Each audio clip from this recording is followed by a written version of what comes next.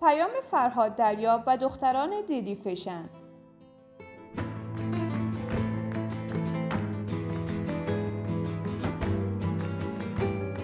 فرهاد دریا در 16 اکتبر در صفحه فیسبوک خود پیامی نوشته است که باعث واکنش و خوشحال شدن دختران دیلی فشن شده است. و از استقبال گرم گروه دیدی فشن از اینکه فرهاد دریا نام گروهشان را در فیسبوک خود نوشته است بسیار خوشحالند. فرهاد دریا در صفحه فیسبوک خود چنین نوشته است. کدام بیطرفی وجود خواهد داشت؟ امروز روز خاص و خطر سیب است.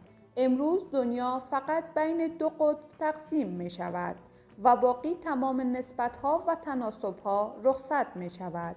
سیاه و سفید، امریکایی و اروپایی، مسلمان و یهود، کمونیست و امپریالیست، تاجک و پشتون و هزاره ها و ازبک ها، دیندار و بیدین و این دختران مقبول دیلیفشن هم هیچ کدامشان آنتن نمی دهند.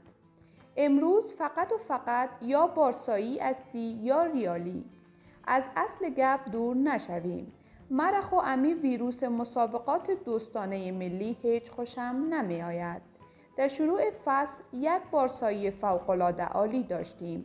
ناجوانا زدن تیم ما را نظر کردند و نیم تیم مصدوم و زخمی شد. اما به زور خدا و به چف و پف پیشگویی بابا دریا ستاره تیم ما سر حریف زور است. و زور شای اولیا باز یک چارتایی و پنجتایی خواد کاشتیم به خطر. حریفا و رفقا پانزده دقیقه مانده به شروع بازی شنگتانم معلوم کنین که پس نمانیم. مقصد دگر ماگرم و زدنک الکلاسیکو یادتان نرود.